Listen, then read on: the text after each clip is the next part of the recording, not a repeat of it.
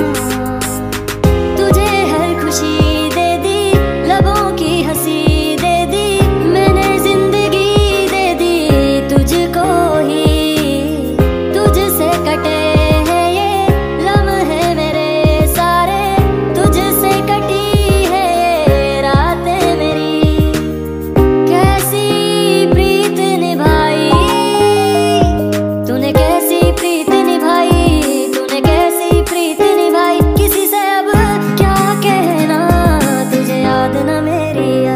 किसी से अब क्या कहना?